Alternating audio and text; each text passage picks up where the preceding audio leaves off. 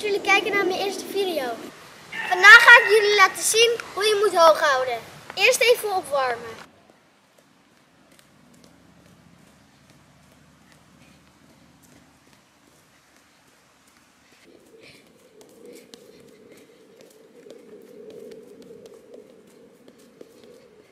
Voordat je gaat hoog houden, moet je de bal eerst even oppompen. Zorg ervoor dat je tenen zo omlaag staan. Want als je hem in een kommetje houdt, vliegt de bal alle kanten op. Probeer rustig te blijven en niet hard te schoppen, zodat de bal dicht bij je blijft.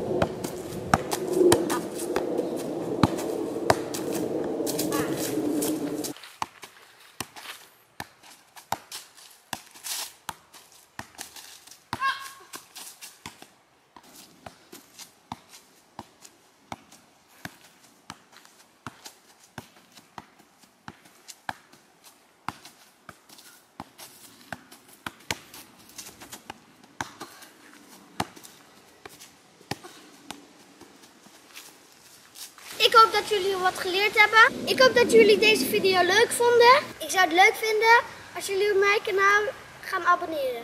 Vergeet natuurlijk geen blauw duimpje voor mij achter te laten. Tot bij de volgende video. Peace!